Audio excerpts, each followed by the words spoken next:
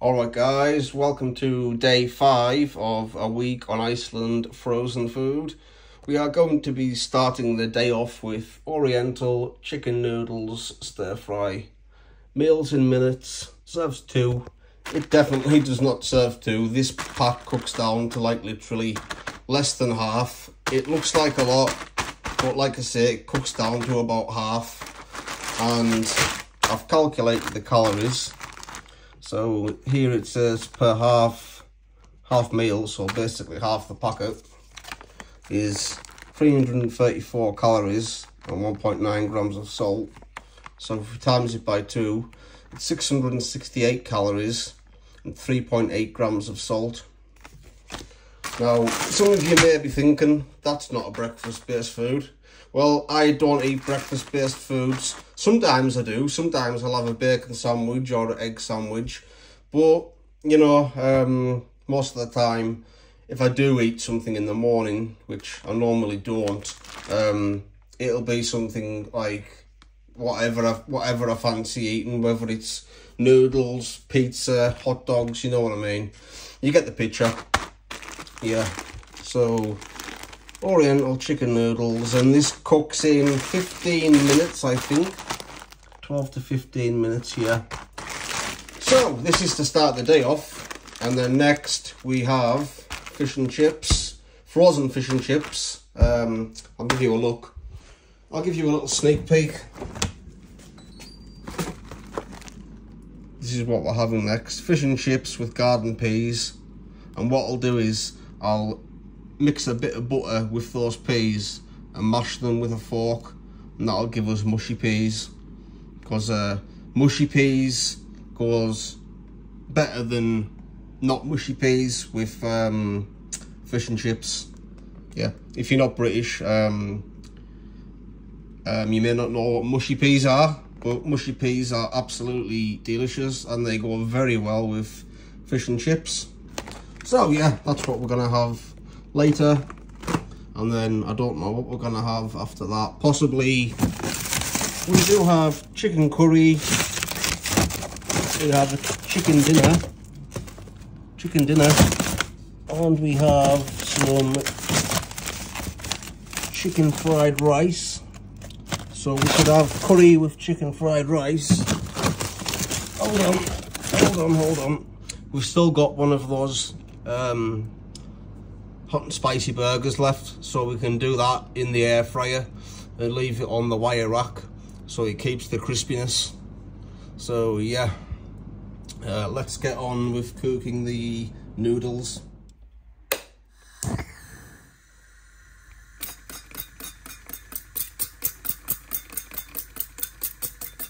Okay so we don't want to wait until the oil is too hot. Otherwise when you put this into there it's going to splatter oil out everywhere. And if it hits you it really burns let's see if I can do this one-handed. Yeah that oil wasn't supposed to be that hot. But hey ho I haven't burnt myself. Yeah. See that, that looks like a lot. It'll go down to half. You see this has only been around two minutes and it's already gone down. And it smells delicious you see how much it's gone down. And this smells absolutely delicious. Wish there was such thing as a smell-o-vision or smell-o-iPhone smell-o-phone so you could smell the food through your screen. Um, we need this puddle of water to go. I think it's because there's too, far too much in the pan, so it's like sweating rather than cooking. Maybe I should have cooked it in a wok. Um, if we, hmm, I was going to say if we turn the heat up uh, but it's almost, that is full. Um, right, I don't know, right, I'll get back to you. Yeah, it seems to be going down a little bit. or it was until I started recording. Um, this spoon, as you see, it's got holes in it, so when we serve it, you know, the uh, juice is going to drip out the bottom like that. So that's what we'll do. This is almost ready. And look how much it's gone down compared to uh, when we first put it in the pan it was overflowing and now it's down to halfway or just above halfway. Uh, yeah, those spices I added to it made a, a really good difference, especially that garam masala. Okay, uh, next clip you will see me taste testing this and uh, also I'm gonna get my dad to taste test too. So we shall see you in the next clip. Okay, so I have let this sit for a little while and the puddle has soaked up. So there we are. Still nice and hot and steaming, as you can see. So let's get some plated up. Okay, here we go. It smells nice. Okay, let's get um, a bit of chicken on there, some veg. This is quite hard to pick up. Maybe better just scooping it up.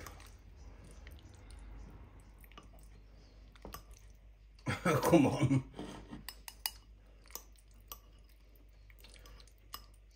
There we go. Okay, here we go.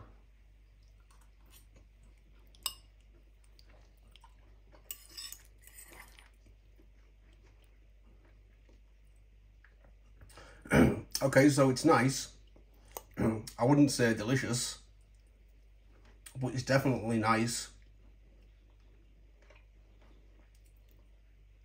That chicken's got a good flavour to it. Um, the extra spices I added to it, I thought it would have given it a lot more flavour, but um, yeah, it's not much. yeah, not much, but um, it's still nice. I would definitely buy it again.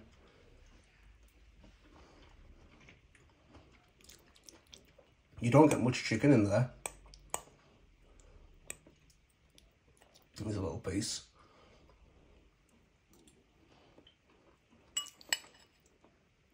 Okay, so I would give that 5 out of 10. yeah, 5 out of 10 easily.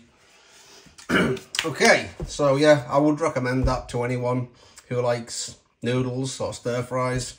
I would recommend that to you. And I was I would also recommend adding extra spices and pepper and uh, Worcestershire sauce. So yeah, uh, I'm going to stop filming now. I'm going to go and enjoy this and then we'll see you later on when we cook the fish and chips. I've never had uh, frozen fish and chips from Iceland. Um, so yeah, it's going to be an experience. Burp warning, burp warning. pardon me, pardon me, pardon me. Right, let's see you in the next clip. Okay, so fish and chips with garden peas and like I said earlier I'm going to be mushing these up with a fork and some butter to turn it into mushy peas. Now that looks quite appetizing on the box doesn't it? So let's see what it looks like here. Yeah that looks quite good even though it's frozen. That does look good. I hope the uh, the batter turns out crispy. Now I've already read this part. It says to pierce this part and you leave this part intact. And then it's 45 minutes and you turn you mix this around halfway through cooking. Um, it doesn't say about mixing this halfway through cooking. It just says to keep that intact. So yeah I've got the oven heating up and then um, yeah we shall see you soon okay so let's see what this looks like chips look good fish looks a little bit soggy. Let's hope it's not. Let's put that to the side. Well, let's test.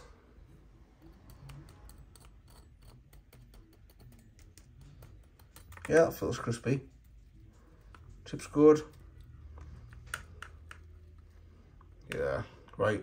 I'm going to mash these peas up and I think I will just eat this out of the packaging to serve washing um, a plate. So anyway, I've got some tartar sauce to have with it too. This is what it's supposed to look like. And that's what it actually looks like. I mean, it's quite the resemblance, isn't it? I might use that for the uh, thumbnail. Let's move that pen and that tart sauce out of the way. And then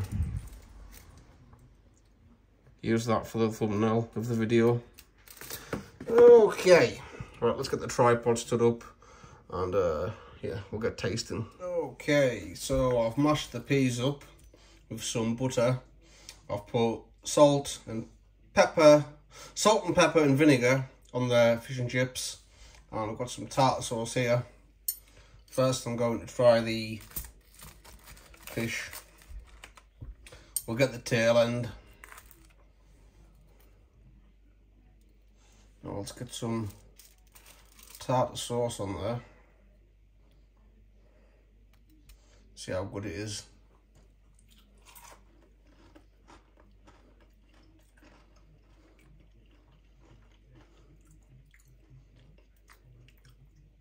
Okay, I said it's nothing but tart sauce. Let's try the fish on its own. okay.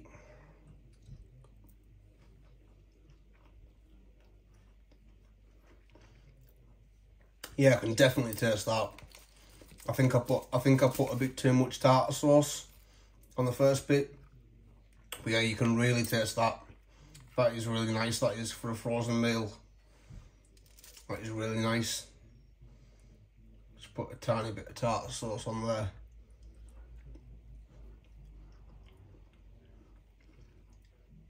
Yeah, that's really good. Let's try some chips with um, uh, peas, sorry, not chips, with a chip and some tartar sauce.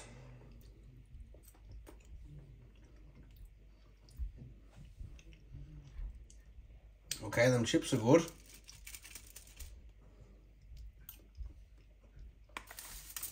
Hmm. This is really good. Really good. Let's get a little bit of everything on there. I will try to. That sauce. Okay.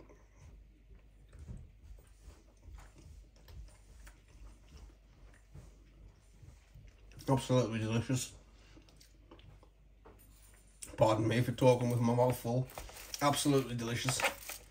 Give this 9 out of 10 easily. At least 9 out of 10.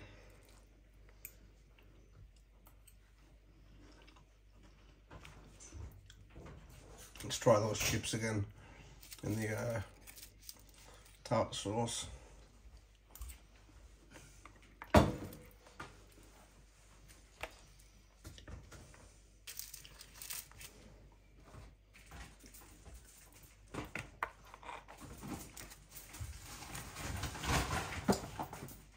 Did we do the calories for this? We don't think we did, did we? So 419 calories and 0.6 grams of salt. We'll write that down on here. 419 calories and what was it?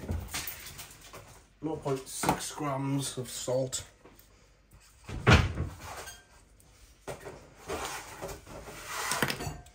So this is what we're on so far.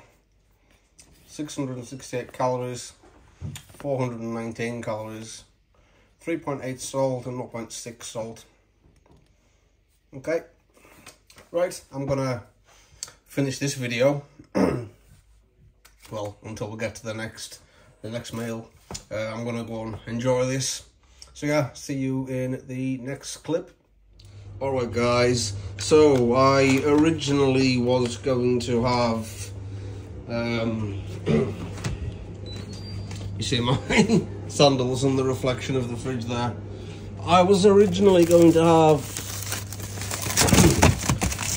uh, chicken fried rice with Chinese style chicken curry but I still feel quite full from the fish and chips we ate earlier so I don't think I'll be able to well I know I won't be able to eat um, a Korean rice but I'll be able to eat a couple of these and a couple of these. Now we did try these a few days ago but uh, they're really nice so I'm gonna have them again because I want to try them with um, with that tartar sauce. I mean that might sound disgusting to some of you but I don't know. I'm quite curious to try it with tartar sauce.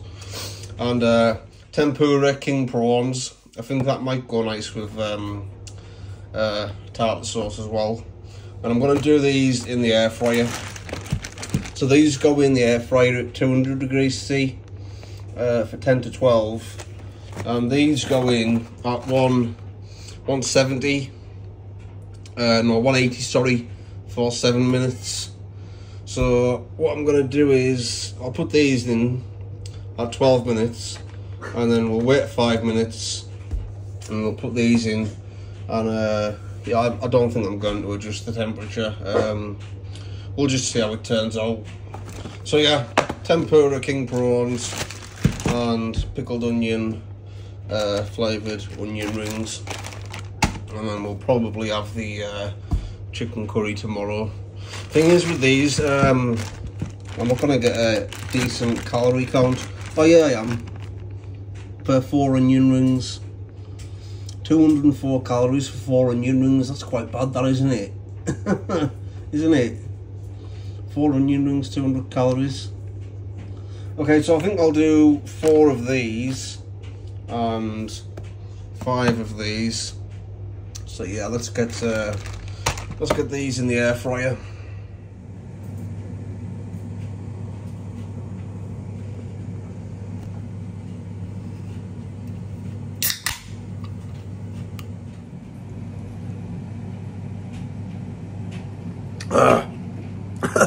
could feel a burp coming up as I was about to swallow it. There it is. Pardon me. You know what, I've just realised to make it easier, we can just go um, five minutes. We go five minutes. And then put the tempura king prawns in at seven minutes. Okay, I've done the working out. So it's 1,573 calories total. So we're like about 1,000 calories down. Um, well, you do the math. I'm crap with maths. And uh, we're at we are at six grams of salt, which is um, the daily recommended. You know, six or less is the uh, daily recommended for for uh, a man. So yeah not too bad. So, uh, once this is, uh, once the time has come down, we're gonna put these in there. And then we'll have some tartar sauce. These are really nice if you like Space Raiders. Ah, oh, they're delicious. Smell delicious. Yeah, if you like Space Raiders, you'll like these. But unfortunately, if you're not in the UK, I doubt you'll be able to get them because I think these are only a UK thing. So, I was just scrolling through my phone. I didn't even hear the air fryer go off. It just it just went off then. But um, the timer had finished, so it went on to cool. But I didn't realise the timer had finished until I looked over. And I was Oh well, um, right, let's get these in and turn these uh, onion rings over. Okay.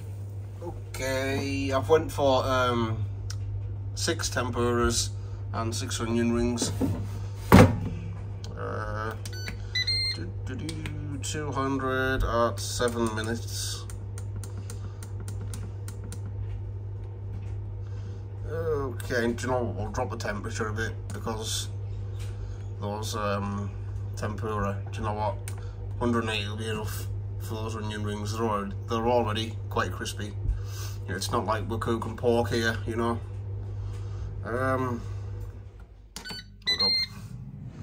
so, the onion rings have uh, gone slightly charred, even though I followed the uh, instructions.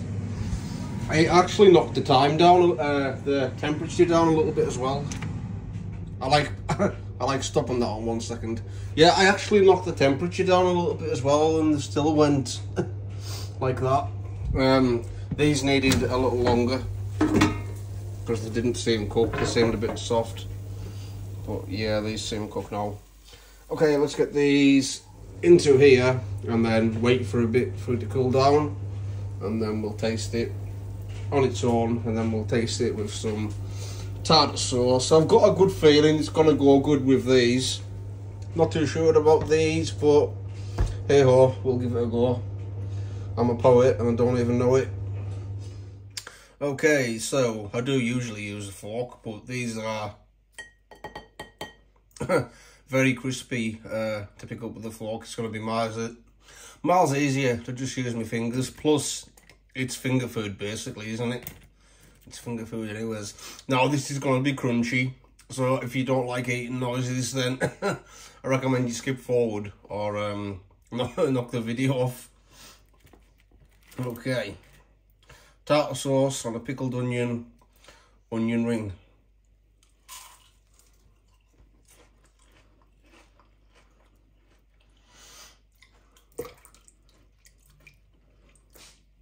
Okay, okay.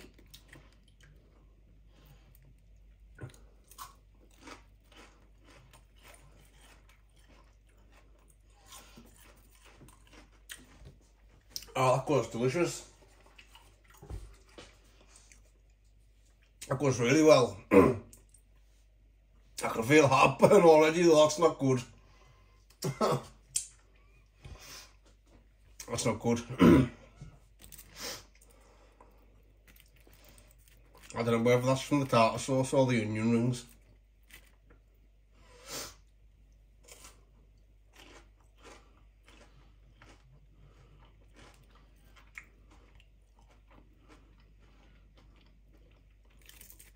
Lovely.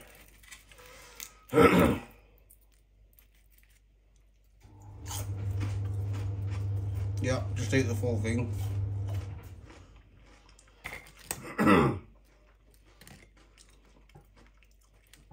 Very nice. you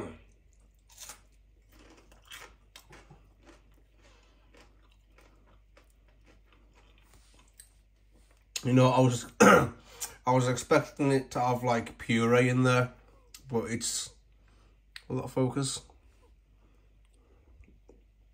It's got like an actual full prawn in there. Try it without the sauce.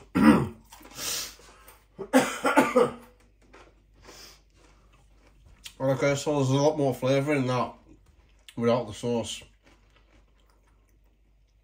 Yeah, you can taste the uh, the shrimp a whole lot more, or the prawn. I don't know why it said shrimp. It's uh, shrimp is American for prawn, so I don't know why I said shrimp. I'm not American.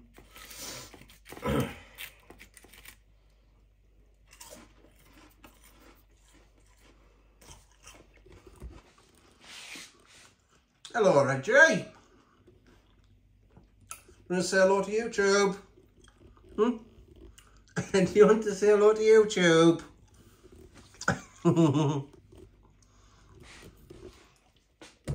you can't have human food, Reg. Alright guys, so that's it for today. I'll see you in tomorrow's episode. I'll probably cook that curry tomorrow.